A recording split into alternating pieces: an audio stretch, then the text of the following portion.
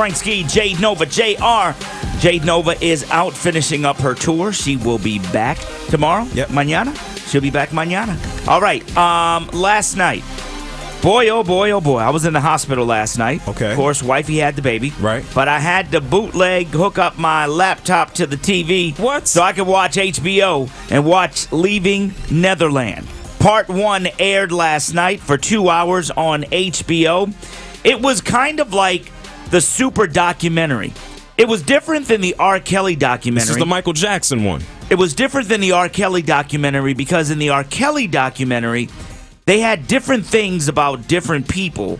And it was kind of like you would see in the R. Kelly thing two or three or four people being interviewed Yeah. all at the same time.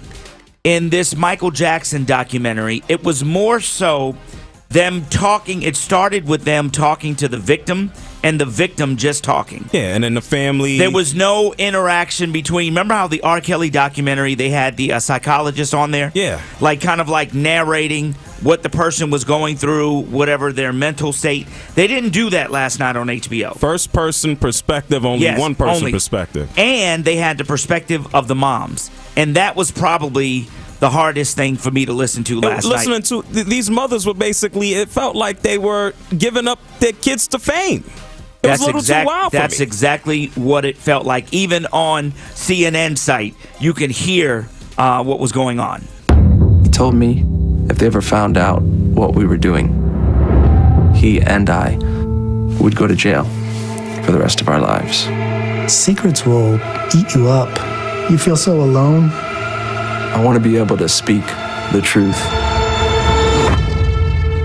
as loud as I had to speak the lie for so long. Now, the interesting and most difficult part for me listening What? last night. What is it? And we're going to talk about this coming up at 8 o'clock this morning. Was the graphic details of the Oh, sexual acts Oh, that were boy. being done. I mean, they were. It was. It was almost like listening to porn. It's- it was- it, it wasn't was- almost like it. It might as well have been. It was that bad. I mean, it was that bad. And they really did a job on explaining from the kids' perspective, who are now grown men, obviously, from their perspective, showing um, in their perspective how they said Michael Jackson manipulated the situation. And they showed, like, they gave so much credibility to the kids because they were able to really describe room by room in the house But- and room by room where they would have these sexual activities You know, at. the, you know the thing though. R. Kelly is still here, right? Michael Jackson is not here to say anything about any of these allegations that these folks are throwing at him.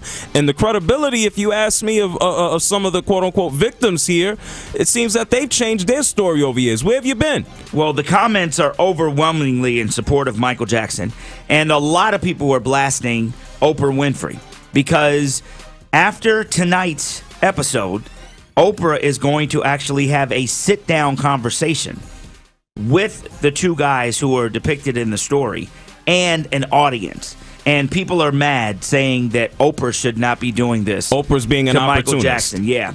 Uh, so it, it's going to be very interesting. Part two comes on tonight, 8 o'clock on HBO.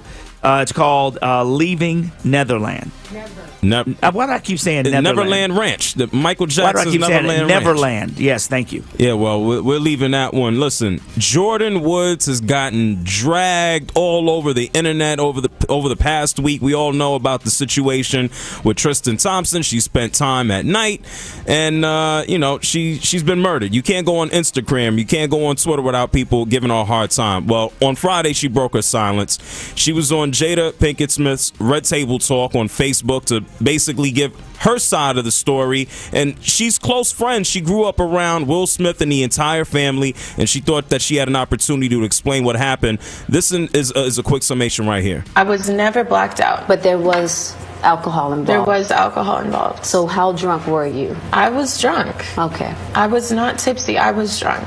Right. But I was not beyond the point of recollection. I know where I was. But on the way out, he did kiss me. No. And what do you mean by kiss? it's just no passion, no nothing on the way out. He just kissed me and and Like a tongue kiss, like a peck on the lips, peck on the like a. no, it, it was like a kiss on the lips, but no tongue kiss, no making out, Got it. Nothing. And I don't think that he's wrong either because I allowed myself to be in that position. And when alcohol's involved, people make, you know, dumb moves or people get caught up in the moment or who knows. Right. Were you shocked? I didn't know how to feel. It's wild. Uh, it, Khloe Kardashian didn't help the situation at first, basically called her a liar and this is your fault and you broke up my family. And then not too long after that, she then tweeted, she changed up her own story. She goes, This has been an awful week and I know everyone is sick of hearing about it. She's a roller coaster of emotions. It's very painful. And then she basically said, It's Tristan's fault. You're not the reason that my family broke up.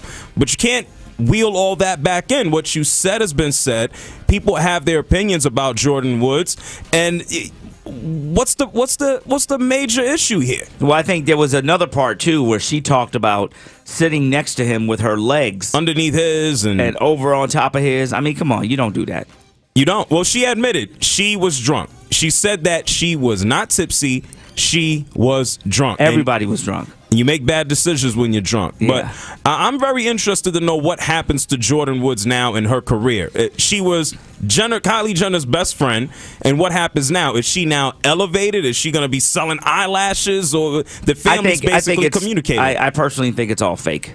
You think this is all for the television show? The reason why, because when you go to those type of parties, Okay. okay, this this is just for people to understand. When you go to those celebrity type of parties, especially when you go to those celebrity type of parties, and it's traditionally um, not all black folk, okay. people are very open and free. People are kissing each other. Oh. women kiss each other at these parties. They Oh, wow. They hug. They Why like we, whoa, very whoa, whoa, freestyle. Let's, let's go back to the women part. Why? no, we, let's not. But why, people are just freestyle. why are we isolating? Why are we Look isolating? at Nina's women? like, no, no, no. Yes, I've been to those parties. Yes, I've walked in those parties and seeing people. They're not kissing each other like making out kissing. They're just walking up, hey girl, and kiss each other and hug it. It's, it's very open. you know what? It's very. Them parties are very super open. Nina, what you saying? What you saying? I said that's a different situation. That's Khloe's baby daddy who she wants to marry. You Oh, boy. you never get a pass to kiss someone's baby daddy who they hope to be with. Oh, you know, women always uh, And, women and, and Hollywood. Nah, women always get a, a, a- a bad rap, and then they women throw, are quick to throw darts at each other at the same time. Like this girl is getting dragged all over the internet. She's honest, she's telling the truth, and then she has more women coming for her. Like, which one is it? Yeah. What about Tristan? Khloe said the same thing. She says, "Oh, you're a liar," and now she comes back and says, "Well, it actually is his fault." Like the guy is standing there, he's the one cheating, but it, it, uh, the, the the woman is the one catching all the fire. It is 651. That is your culture report. Why are we doing it, JR? We're doing it for the culture, my man.